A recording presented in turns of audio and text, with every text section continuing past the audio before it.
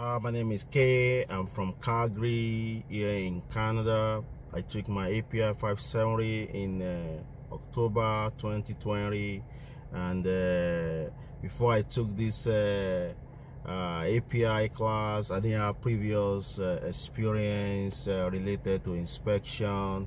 Uh, I'm from a different area of the oil and gas industry. I work in the downstream uh, sector for many years.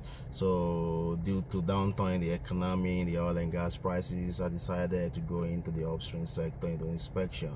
So I decided to take API and I had just one month to prepare just one month this is true this is not a lie so this video is a testimony that uh, with my effort in addition to bob the bob videos the handout and the fact that the board was doing handwritten white on the whiteboard. It was doing the video it was it was it was doing the calculations on the whiteboard.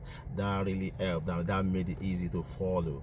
And uh, i was able to pass the API 570 excellently, excellently. If not for Bob videos, if not for Bob handout, if, if not for the the steps, if not for those questions in uh, in uh, in Bob's handout, if not for those uh, 1,000 questions uh, at the end of the entire modules, I don't think I will make it.